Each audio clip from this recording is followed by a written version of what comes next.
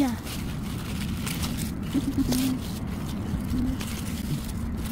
이 쏙구듯이 뜯어 먹는다 그자? 어? 쏙구듯이 중간 중간. 큰 거는 뽑아보면 적은 게 커지고 음 그래.